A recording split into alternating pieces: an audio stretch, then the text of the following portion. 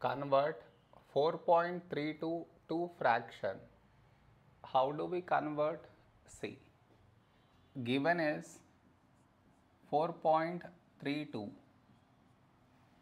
First we should break this into 4 plus 0.32. Next, convert this to fraction over here. So 0.32.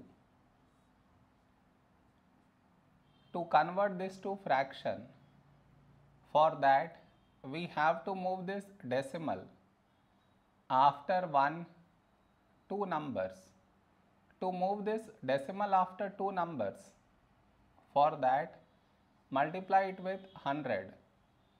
Whatever you are multiplying in the numerator, in the denominator also do the same.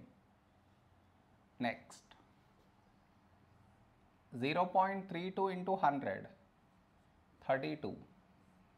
1 into 100, 100. Now I cancel with 2. 2 ones, 2 6, 2 5s, this 0 as it is down. I cancel with 2 again, 2 8s, 2 25s. So the fraction we got is 8 by 25. Now here.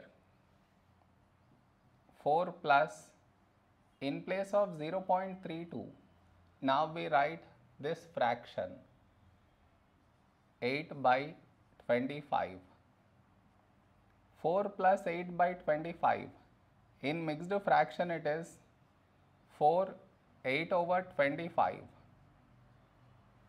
and in improper fraction it is 4 into 25 100 plus 8 108 by 25 is our fraction